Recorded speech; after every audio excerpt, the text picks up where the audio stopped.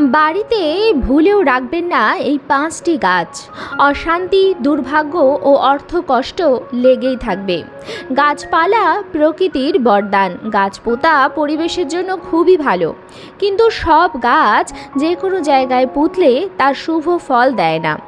বসত বাড়ির জন্য কোন গাছ ভালো, কোন গাছ ভালো নয়, সেটা না জেনেই আমরা শুধুমাত্র শখ বশত কিছু গাছ নিয়ে এসে বাড়ির উঠোনে, বাগানে, বারান্দায় বা ছাদ বাগানে লাগিয়ে দিই। কিন্তু বন্ধুরা, বাড়ির বাস্তুর জন্য কোন গাছ শুভ নয়, সেটা না জানা কিন্তু বাড়িতে চরম অমঙ্গল ও আর্থিক বিপর্যয় নিয়ে আসতে পারে। তাই বন্ধুরা, বিশেষভাবে জানা উচিত কোন গাছগুলি পুতলে বাড়িতে দেখা দেয় আর্থিক সংকট। বাস্তুশাস্ত্রে গাছের গুরুত্ব অপরিসীম। গাছের সঙ্গে পজিটিভ এনার্জি জড়িয়ে থাকে। আমাদের আশপাশে সবুজের সমারোহ থাকলে আমাদের মধ্যে পজিটিভ এনার্জি ও প্রাণ প্রাচুর্য অনুভব করা যায়। এছাড়া বাড়ির চারপাশে নানা ধরনের গাছ থাকলে পরিবেশে অক্সিজেনের লেভেলও যথাযথ থাকে। তাই বাড়ির মধ্যে শুধুমাত্র সেই সব গাছই রাখা উচিত যেগুলি পজিটিভ এনার্জি প্রবাহিত করে। বাস্তু অনুসারে কোনো কোনো গাছ আছে যেগুলি নেগেটিভ এনার্জি বিকিরণ করে। আজ আমরা আলোচনা করব এমন পাঁচটি গাছের বিষয়ে যেগুলি বাড়ির মধ্যে রাখলে নেগেটিভ এনার্জির কারণে আমাদের নানা প্রকার ক্ষতি হতে পারে। তাই আমার সকল দর্শক বন্ধুদের অনুরোধ করব যে আজকের এই ভিডিওটি একদমই স্কিপ না করে সম্পূর্ণ দেখবেন। দেখার পর যদি ভালো লাগে তাহলে অবশ্যই কিন্তু একটি লাইক করবেন, কমেন্টসে লিখবেন, জয় মা লক্ষ্মীর জয়। এবং বন্ধুরা অবশ্যই ভিডিওটি শেয়ার করবেন আপনাদের নিকট আত্মীয় স্বজন এবং বন্ধু বান্ধবদের সাথে। চলুন বন্ধুরা, আসা যাক মূল পর্বে। বন্ধুরা, প্রথমেই যে গাছটির কথা আমি বলব, সেটি অনেকেই পছন্দ করেন কারণ সেটি দেখতে খুব সুন্দর। সেটি হচ্ছে খেজুর গাছ। বাড়িতে অনেকেই খেজুর গাছ পোতেন। কিন্তু জেনে রাখুন, এই গাছ বাড়িতে পোঁতা মোটেও শুভ নয়। বাড়ির ভেতরে খেজুর গাছ রাখলে বাড়ির সদস্যরা আর্থিক সংকটে ভুগতে পারেন। খেজুর গাছ দেখতে ভালো এবং এর ফল সুস্বাদু এবং খাদ্যগুণে ভরপুর। কিন্তু বাড়িতে এই গাছ মুতলে আর্থিক সংকট দেখা দিতে পারে, পরিবারের দুর্গতি নেমে আসতে পারে। তাই বন্ধুরা, এই গাছটি ভুলেও বাড়িতে পুঁতবেন না। খেজুরের মতোই আরও একটি গাছ যাকে বাড়িতে স্থান না দেওয়াই ভালো বা বাড়ির ত্রিসীমানার বাইরে রাখাই বেশি ভালো। এই গাছ বাড়ির বাস্তুর ভেতর নয়, বাড়ির আশপাশেও থাকা শুভ বলে মনে করা হয় না। সেটি হচ্ছে তাল গাছ। তালের বড়া বা তাল শ্বাস খেতে যতই ভালো হোক না কেন বাড়িতে এই গাছ পুঁতবেন না। কারণ এই গাছ থেকে অশুভ শক্তি নির্গত হয় যা বাড়ির লোকেদের ক্ষতি করতে পারে। মনে করা হয় যে বাড়িতে তালগাছ থাকে, সেই বাড়িতে লক্ষ্মী দেবী বাস করেন না। তাই তালগাছ বাড়িতে থাকলে আর্থিক সংকট দেখা দিতে পারে। বাস্তু অনুসারে শুভ ফল পেতে বাড়ির ভেতরে ভুলেও রাখবেন না তেঁতুল গাছ। বন্ধুরা, এর ফলে বাসিন্দাদের মধ্যে নেগেটিভ চিন্তাভাবনার আধিক্য দেখা যাবে।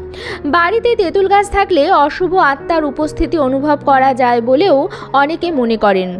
বাড়ির বাসিন্দাদের স্বাস্থ্যের ওপর ক্ষতিকর প্রভাব ফেলে তেঁতুল গাছ। তেঁতুল গাছ বাড়ির ত্রিসমানার বাইরে রাখবেন। তেঁতুল গাছ নেগেটিভ এনার্জিতে ভরপুর। বলে যে তেঁতুল গাছের ছায়াও বাড়ানো নাকি ভালো নয়। এবং গ্রাম বাংলার সাইডে তেঁতুল গাছ কখনো কেউ বাড়িতে পুঁততেন না। সেগুলি শ্মশানের কাছাকাছি জায়গায় পোতা হতো। তাই বন্ধুরা, এই গাছগুলি বাড়ির জন্য শুভ নয়, তাই এগুলি এড়িয়ে চলবেন। বাড়ির ভেতরে মাদার গাছ পোতাও অত্যন্ত অশুভ বলে মনে করা হয়। এই ধরনের গাছ কেবলমাত্র খোলা জায়গায় পোতা উচিত। বাড়ির সদস্যরা এই গাছ থেকে নির্গত হওয়া অশুভ শক্তির প্রভাবে অসুস্থ হয়ে যেতে পারে। বন্ধুরা এবার আমি এমন একটি গাছের কথা বলব, যেই গাছটির পুজো করা হয়, যেই গাছটির পরিক্রমা করা হয়, এবং যেই গাছে জল দান করলে রাশিচক্রের অনেক দোষ দূর হয়ে যায়। সেই বিশেষ গাছটি মন্দির সংলগ্ন এলাকায় ভালোই দেখা যায়, সেটি হচ্ছে অশ্বত্থ গাছ। হ্যাঁ বন্ধুরা, মন্দিরের আশেপাশে অশ্বত্থ গাছ আমরা প্রত্যেকেই দেখে আছি, এবং অশ্বত্থ গাছের আমরা পূজাও করি। মনে করা হয় অশ্বত্থ গাছে অনেক দেবতার বাস। মন্দিরে অশ্বত্থ গাছ দেখলেও বাড়িতে অশ্বত্থ গাছ পুতলে তার শুভ ফল দেবে না। বাস্তুশাস্ত্র অনুসারে বাড়িতে ভুলেও অশ্বত্থ গাছ পুঁতবে না, এমনকি বাড়ির উঠোনে বা বাড়ির দেওয়ালেও যদি নিজে থেকে অশ্বত্থ গাছের চারা গজিয়ে ওঠে, তাহলে তা তৎক্ষণাৎ সরিয়ে ফেলুন। অশ্বত্থ গাছ মন্দিরের জন্য ভালো, কিন্তু বাড়ির জন্য ভালো নয়। অশ্বত্থ গাছের মতোই বট গাছও বাড়ির জন্য কিন্তু শুভ নয়। হিন্দু ধর্মে বট গাছের গুরুত্ব অনেক। হিন্দুদের কাছে বটগাছ অনেক পবিত্র ও শুভ বলে মনে করা হয়। কিন্তু বাস্তুশাস্ত্র অনুসারে বাড়ির ভিতরে বা বাড়ির বাইরে এই গাছ লাগানো উচিত নয়। এই গাছ অত্যন্ত শক্তিশালী বলে মনে করা হয়। গৃহের শান্তি ও সমৃদ্ধির পথে বাধা হয়ে দাঁড়াতে পারে এই গাছ। তুলা গাছকেও অশুভ বলে মনে করা হয়। তুলা গাছ বাড়িতে পোতার কথা একেবারেই ভাববেন না। যে কোনো মূল্যে এড়িয়ে চলাই ভালো। বাস্তুমতে বিশ্বাস করা হয়, এই গাছ যদি বাড়িতে থাকে তাহলে গৃহে অশান্তি, দারিদ্রতা, ভুল বোঝাবুঝি লেগেই থাকবে। যদি পুততেই হয়, তাহলে বাড়ির বাইরে, ভিতরের একেবারেই নয়। মেহেন্দি পড়তে আমরা অনেকেই ভালোবাসি, মেহেন্দি হাতে পরা হয় বা মাথাতেও, চুলেও লাগানো হয়ে থাকে। কিন্তু বাড়িতে এই গাছ ঘুণাক্ষরেও বসাবেন না। মনে করা হয়, এই গাছে নাকি অশুভ আত্মা বাস করে। বাস্তুমতে তাই এটিকে অমঙ্গলের ইঙ্গিত বলেই ধরে নেওয়া হয়। বাড়িতে এই গাছ থাকলে মানসিক চাপ বৃদ্ধি পায় ও মানসিক শান্তি উধাও হয়ে যায়। এরপর বলব, এমন দুটি গাছের কথা যেগুলি আমরা বাড়ির সৌন্দর্য বৃদ্ধির জন্য লাগিয়ে থাকি, সেটি হচ্ছে এবং ইনডোর প্লান্টস হিসাবেও ব্যবহার করা হয়, সেটি হচ্ছে বনসাই গাছ। অদ্ভুত সুন্দর দেখতে এই গাছগুলি বাড়িতে সাজিয়ে রাখেন অনেকেই। এই গাছ কিন্তু বাস্তুমতে কখনোই বাড়িতে রাখা উচিত নয়, কারণ এই গাছ পরিবারের ওপর খারাপ প্রভাব ফেলে। কেরিয়ার বা ব্যবসায় দারুণ ক্ষতি করার জন্য এই গাছকে দায়ী করা হয়। মনে করা হয়, বনসাই গাছ থাকলে সেই পরিবারের লোকেদের কখনো কোনো দিকে শ্রীবৃদ্ধি বা উন্নতি ঘটে না। অর্থাৎ আগে বেরোনোর পথে বাধা হয়ে দাঁড়ায় বনসাই গাছ। আরেকটি গাছ যেটি হয়তো অনেকেই জানেন বা অনেকে হয়তো বাড়িতে আর রাখেনও না, সেটি হচ্ছে ক্যাকটাস জাতীয় গাছ। ক্যাকটাস খুবই সুন্দর লাগে দেখতে এবং ইনডোর প্ল্যান্টস হিসাবে আগে বহুত ব্যবহার করা হতো, কিন্তু বর্তমানকালে যেহেতু সবাই এটি জানেন, সেই জন্য ক্যাকটাস এখন অনেকেই অ্যাভয়েড করেন।